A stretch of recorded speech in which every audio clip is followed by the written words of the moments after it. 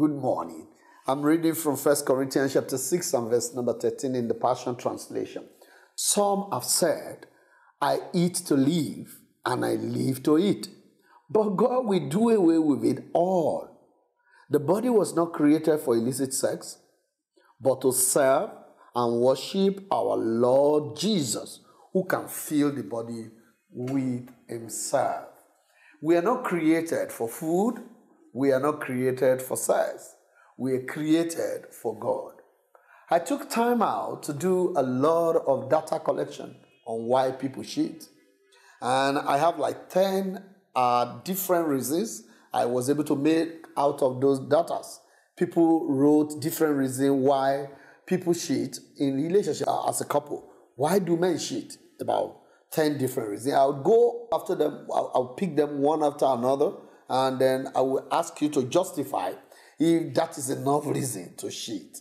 All right, number one, people cheat for lack of commitment to their present relationship. That was the first thing the person said that he thinks people cheat because of lack of commitment.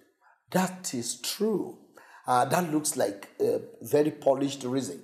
When you are not when you are not having a committed relationship as a girl or as a boy or as a man or as a woman, there's nothing at stake. Then you are free to cheat. Then I'll take you back again to say cheating is not to your partner alone. In fact, when you cheat, your partner is the third person you are cheating on. The first person is God. The second person is you. Your partner is the third person. Either presently you are married or you're going to be married thereafter. So that's not enough reason. Number two, lack of sexual satisfaction with your present partner. People say, hey, the man is not satisfying me or the woman is not satisfying me. I'll quickly explain what this means.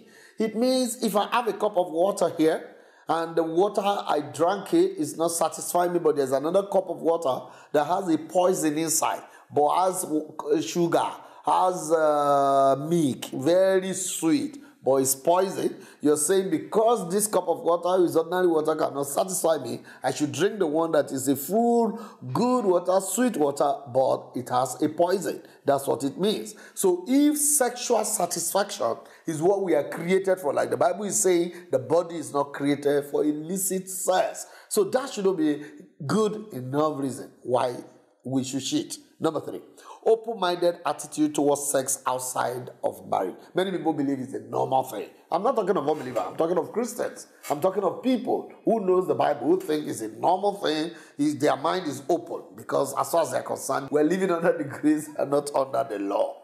But that's like wasting the grace of God upon your life. You lose more by going outside your marriage than staying.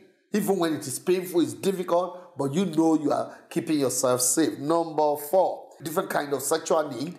Um, uh, this one is not doing this well. This is the kind of sexual need I need. Whatever it is, is not good enough. Number five, appetite for sexual encounter with others. People want to taste what other people look alike.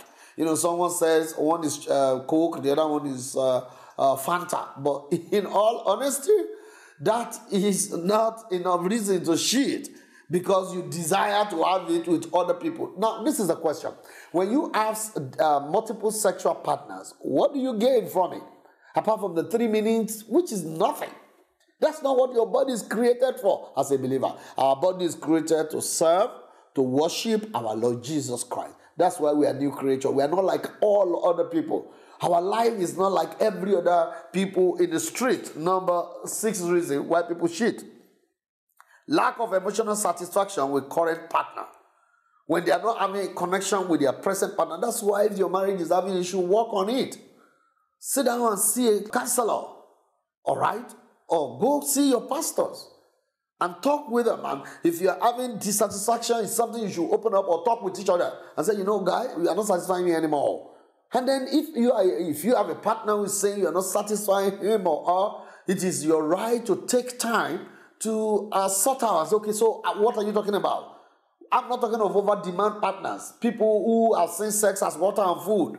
That you can never satisfy their urge simply because they've gone too far that they need deliverance from evil sexual habits that they've got themselves into. And they shouldn't use it against their partner because only God knows where you got yourself loosed that you cannot be satisfied anymore. You keep eating, keep eating, eating, you are never satisfied. They call it gluttony. All right? That's addiction. It's not the um, uh, um, fault of your partner that you got yourself into that. So you should learn how to treat yourself. It's like being sick. You treat yourself and come into a normal sexual need that can be satisfied. Number seven, feeling of insecurity or low self esteem. Majorly, if you have a low self esteem as a girl, you want to sleep with all the men in the street so that you can feel like, okay, maybe you are beautiful, that's why they are sleeping on you. Most of the time, they finish sleeping on, uh, with you and go and clean and go and wash their teeth because they just they just see you as one of those loose girls in the street. And that happened to men too who think the more women or more ladies they, that are involved in their life makes them have ego. Rather, it's a showcase of your insecurity or low self-esteem. Number eight, financial, family, and work prayer. If you sleep with men for money, you're a prostitute. Even if you speak in tongue.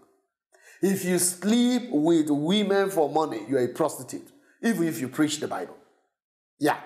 So, if financial gain is the reason he said, You don't know what I need. Eh, blah, blah, blah. Go and walk. You're just lazy.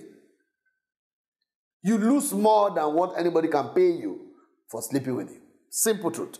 Number nine, thrill of the chase. Some people have this idea that when they chase girls or chase guys is what makes them the real thing. Not knowing that they are demonized. You need deliverance. You need to go for prayers. You need to fast.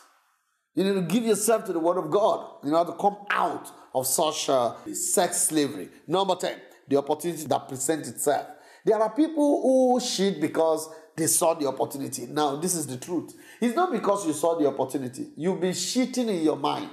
So you just saw the opportunity to quickly grab and you, you just quickly go for it. Now, these are 10 reasons that I got in the data collection on why men cheat. But this is a question I'm going to ask you. Is there enough good reason to cheat on God, to cheat on your destiny, and to cheat on your partner? I'd like you to please help me write under this video.